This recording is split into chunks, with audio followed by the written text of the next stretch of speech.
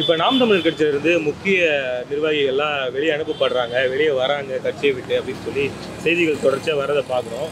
இப்படி ஒரு கட்சியிலேருந்து வெளியே வர்றதை எப்படி பார்க்குறீங்க? இல்லை இப்போ போன வாரத்தில் கூட அவர் கட்சியில் இருந்த ஒரு மாவட்ட லெவலில் இருந்தவங்க நாங்கள்லாம் கோடி கோடியாக பணத்தை இடத்த விற்று எல்லாத்தையும் செல்வத்தெல்லாம் விற்று கூட இவர் இதில் இது பண்ணி இவர் அரசியலில் நாங்கள் இது பண்ணோம்.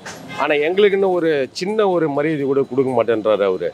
அவர்கிட்ட இருக்கிறத ஒன்று தான் அதை விட நாங்கள் இதை விட்டு இது பண்ணுறேன்னு ஒரு லேடி வேறு அவர் பேருங்க அவங்க ஞாபகம் இல்லை போன வாரம் பேட்டியில் இது பண்ணியிருந்தாங்க. அந்த மாதிரி எல்லாமே இவர் அராஜகமாக பண்ணுறாருன்ற போல தான் இது பண்ண நம்ம கூட இருந்து பார்க்கல. எல்லாம் பத்திரிகை மூலியமாக படிச்சு தான் நம்ம பார்க்குறோம். பார்க்க போனால் அவர் அராஜக போக்கில் நடக்கிறாருன்ற போல தான் வருது எல்லாமே. அது இப்போ சர்வாதிகாரி மாதிரி நடந்துக்கிறாரு சர்வாதிகாரி அதை தான் சொல்கிறேன் அராஜகன்றது சர்வாதிகாரி தான். அதை தான் சொல்ல வந்தேன். வெளியே வந்தவரும் அப்படிதான் சொன்னார். ஆமாம் அப்படியே டைரெக்டாக சொன்னார் அவர். சர்வாதிகாரமாக எங்களுக்குன்னு ஒரு சின்ன ஒரு ஒரு சுதந்திரமான ஒரு இது இல்லை எங்களுக்கு ஒரு மரியாதை இல்லை ஃபஸ்ட்டு அவர் என்ன எடுக்கிறாரா? இருந்தா இருங்க இல்லாட்டி வெளியே போங்க அப்படின்ற போல பேசிகிட்டு இருக்காரு எங்களை. எங்களை எதுவும் வாய் திறக்க விட மாட்டாங்க எங்களுக்கு ஒரு அங்கீகாரமும் இல்லை. அப்போ நாங்கள் எவ்வளோ நான் என்னை பொறுத்தவரையில் கோடி கோடியாக பணத்தை நான் செலவு பண்ணி அவருக்காக வேண்டி அது சின்ன ஒரு ஒரு நன்றி விசுவாசம் கூட இல்லாமல் போல் ஒரு சர்வாதிகாரமாக எங்களை பண்ணுறாரு அதனால் நான் வெளியே வரது நல்லது. அப்படின்றத இப்போ போன வாரம் ஒரு லேடி அந்த மாதிரி தான் சொல்லிட்டு இருந்தாங்க. ஒருத்தர் அவர் பேர் தெரியல அவரும் சொல்லிட்டு இருந்தார் போன வாரம்க்குள்ள சீமான் சொல்கிறது அப்படி தான் இருக்குது கடல் வந்து சிவப்பு கலருங்க நான் சிவப்பு கலர் தரேன் சிவப்பு சிவப்பு சிவப்புன்னு தான் சொல்லுவேன் அப்படின்னு சொன்னாருன்னா அதை எப்படி ஏற்றுக்கிட முடியும்? நீளத்தை நீளம் தானங்க ஏற்றுக்கிட முடியும்? அதை எப்படி சிவப்புன்னு ஏற்றுக்க முடியும்? அவர் சும்மா கிடந்து ஏதோ பேசுவார் அதெல்லாம் வந்து மக்கள் ஏற்றுக்கிட மாட்டாருங்க. இப்போ என்ன சொல்றாருன்னா இப்போ தமிழ் தாய் வாழ்த்து இஷ்யூ வந்து போன வாரம் அவங்க ரொம்ப இதாச்சு நான் ஆட்சிக்கு வந்தா புதிய தமிழ் தாய் வாழ்த்து கொண்டு வரேன். ஆமாம் அவர் இஷ்டப்பட்டா அவர் நீக்கிறதுக்கும் அவர் இஷ்டப்பட்டா எடுக்கிறதுக்கு இதுனா தமிழ் தாய் வாழ்த்துனா விளையாட்டு விஷயமா? அந்த காலத்தில் ஒரு தமிழ் தாய் வாழ்த்துக்கு பெரிய பெரிய ஆளுங்களாம் எவ்வளோ கஷ்டப்பட்டு பிள்ளைங்கள்லாம் படிக்கும்போது தமிழ் தாய் வாழ்த்து எதுக்கு பசங்க போனோன்னு அந்த பிள்ளைங்க ஒரு ஒழுக்கமாக வரணும் ஒரு நல்ல ஒரு வளரணும் பண்போடு நடந்துக்கணும். அந்த தமிழ் மொழி மேலே பற்று உள்ள பிள்ளைங்கள வளர்றாங்க. அதுக்கு தான் நம்ம போன உடனே காலையில் எழுந்த உடனே ஸ்கூலுக்கு நம்ம போன உடனே ஆசிரியருங்கெல்லாம் தமிழ் தாய் வாழ்த்து பாடணும் அப்படின்னு ஒரு டிசிப்ளின் சொல்லி கொடுத்தாங்க அதை இஷ்டத்துக்கு எடுக்கிறதுக்கும் போகிறதுக்கும் இது? அவர் வீட்டு இது அது தமிழ் தாய் வாழ்த்து கொண்டு வரேன் ஆமாம் கொண்டு வருவார். கொண்டு வருவார் அவர் இஷ்டம் தானே அது.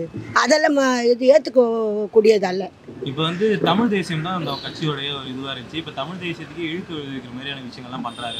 அவர் எல்லாத்துலேயுமே கொஞ்சம் இது தாங்க வாயை இஷ்டத்துக்கு விடுவார் இஷ்டத்துக்கு இது பண்ணுவார். அவருக்கு ஒன்றுமே தெரியல அவர். அவர் எல்லாமே சினிமா நினச்சிக்கின்னு பண்ணிட்டு இருக்கிறாரு. வேற ஒன்றும் கிடையாது.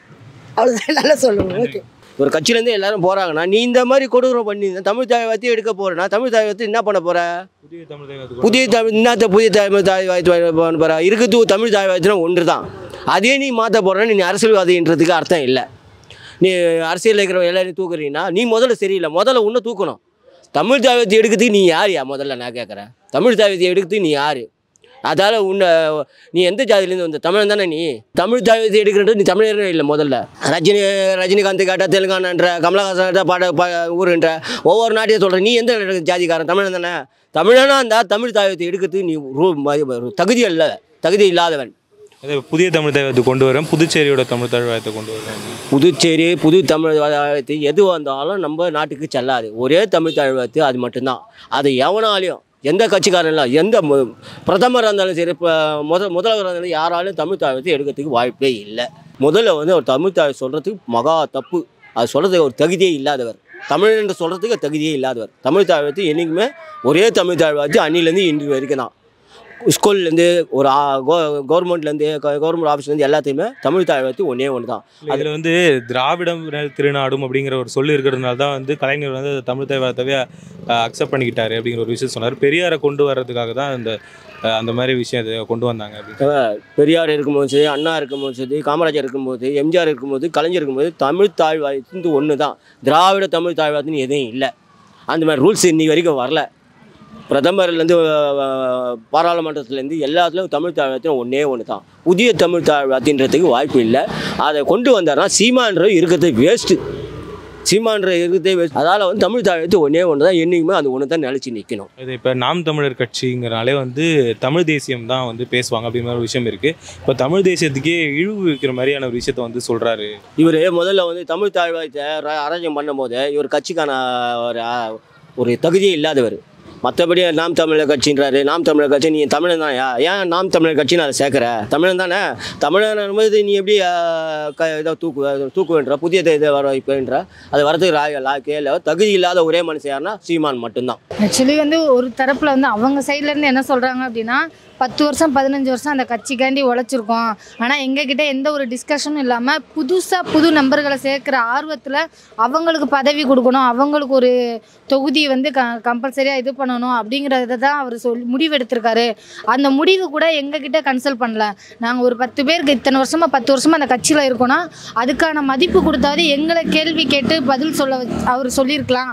அந்த மாதிரி இல்லாமல் அவர் மட்டுமே ரொம்ப தனித்துவமாக இந்த கட்சி என் நான் நான் உருவாக்குனது நான் தான் முடிவெடுப்பேன் அப்படிங்கிற ஒரு மைண்ட் செட்டில் பேசுகிற மாதிரி தான் நிறைய பேர் சொல்கிறாங்க ஆனால் பாதி பேர் எங்களுக்குமே ஒரு சில டவுட் இருக்கு. ஏன்னா நம்ம விஜய் சார் க தமிழக வெற்றி கழகம் கட்சி ஆரம்பித்து மக்களோட ஆதரவு அதிகமாக இருக்கிற மாதிரி அவங்களுக்குள்ள தோணி ஸோ அங்கே போனால் நம்மளுக்கு பதவி கிடைக்கிறதுக்கு வாய்ப்புகள் இருக்குன்னு சொல்லிட்டு பாதி பேர் விலகினதான் நினைக்கிறாங்க.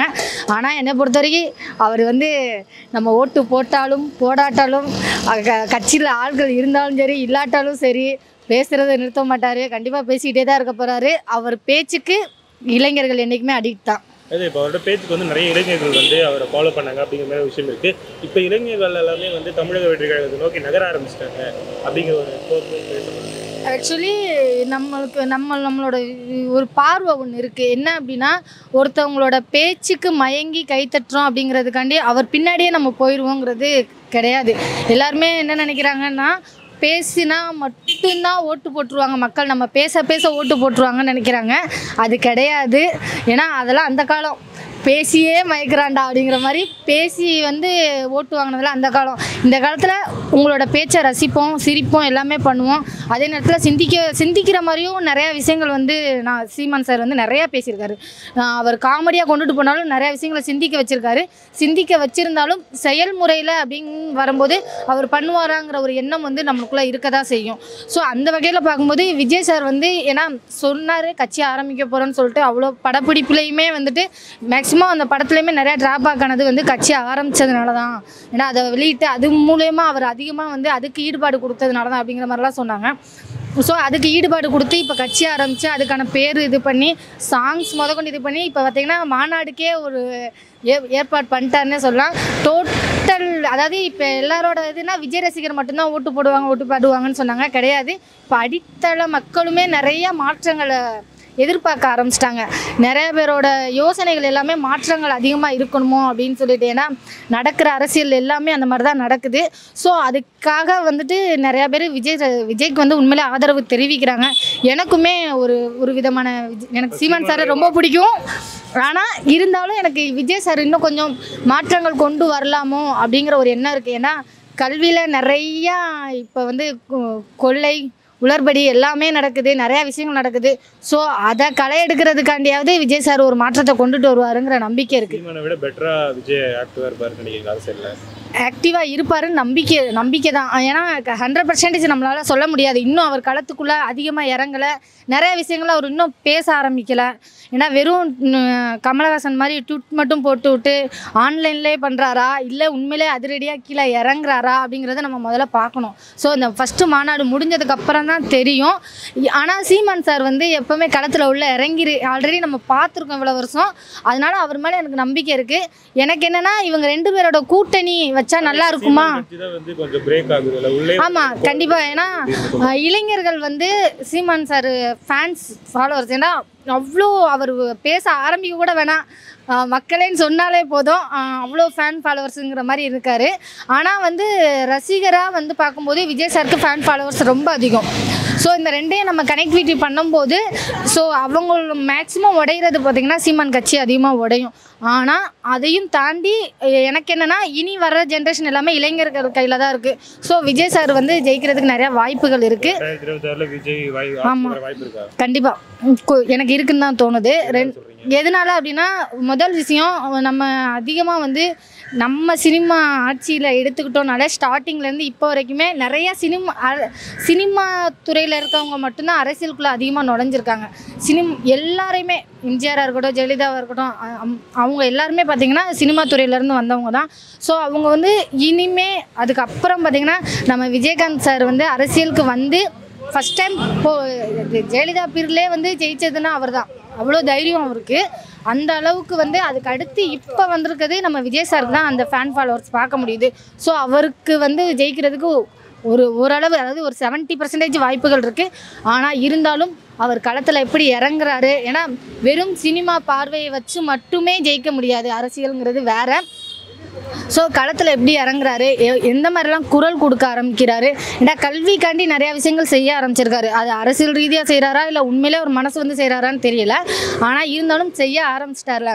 ஸோ அதுக்கப்புறம் வந்து நிறைய விஷயங்களை இன்னும் குரல் கொடுக்கணும்னு நான் நினைக்கிறேன். ஏன்னா நிறைய சைலண்ட்டாக பண்ணுற மாதிரி இருக்குது அவர் மாநாடு விஷயத்தில் மட்டும் ஃபோக்கஸ் பண்ணாமல் இங்கே நடக்கக்கூடிய நிறைய விஷயங்களுக்கு அவர் குரல் கொடுத்தா ரொம்ப நல்லா இருக்கும்னு தோணுது. மாநாடு அறிவிச்சுட்டு ரொம்ப சைலண்டா இருக்காரு அப்படிங்கிற மாதிரி விஷயம் இருக்கு. மாநாட்டில் என்ன மாதிரி விஷயங்கள் எதிர்பார்க்குறீங்க?